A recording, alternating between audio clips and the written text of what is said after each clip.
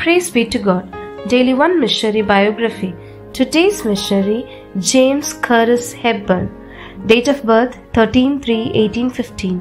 Date of death 21 9 1911. Native place Pennsylvania. Country United States. Place of vision Japan and China. James Curtis Hepburn was one of the great pioneers of the gospel and Christian civilization in Japan. Obeying the word of God, do to others as he would have them to do to you. Hepburn went about doing good to various Asian communities as a medical missionary. Shortly after graduating from the Medical College of the Pennsylvania University, Hepburn, along with his wife Clara Leete, traveled to Singapore and then China as a medical missionary. After five years of active missionary work, the Hepburns had to leave China due to health issues and arrived in New York in 1845. While Hepburn was practicing medicine in New York, all three of his children fell victim to a serious illness.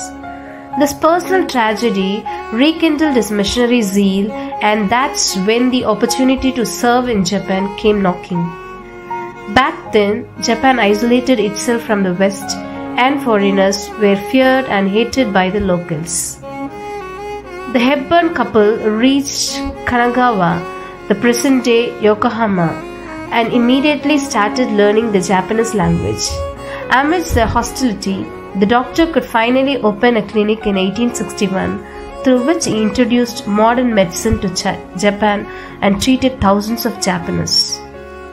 As a translator of the Bible, Hepburn left an indelible mark on Japanese Christianity and literature. He compiled the first Japanese English dictionary and created the Hepburn system of romanization. Besides medical service, along with his wife, he started a school teaching English to young Japanese as a means of introducing the Bible.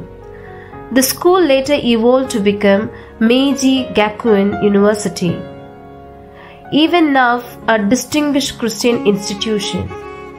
Hepburn also established a church at Yokohama to strengthen the faith of the believers. Hepburn was a loyal, diligent, zealous, and self effacing servant of Jesus who loved all mankind.